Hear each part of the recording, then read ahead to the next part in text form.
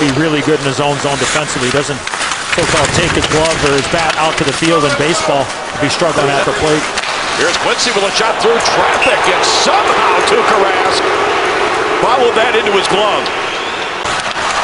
They want good support to keep the puck alive in the Boston zone now for the Detroit power play.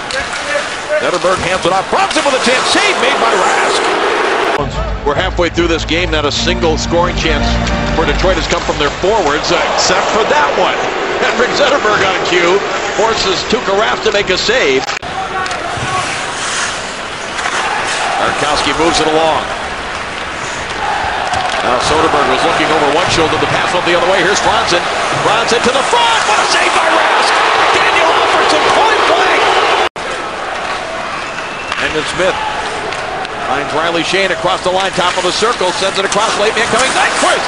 And talk about being aggressive, Rask came out to cut that one off. A shot by Kronwall is stopped by Rask.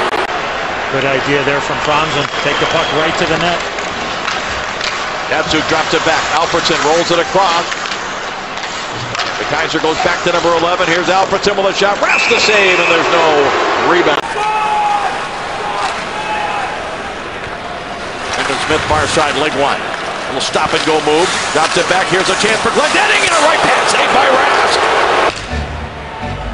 Here's that line for the Detroit Red Wings at even strength. I believe has been their best line, five on five, and Luke Glendening skating right, shoot back left. There was some room to the far side.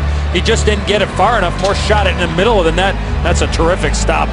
And for the 34th time in Stanley Cup history, we are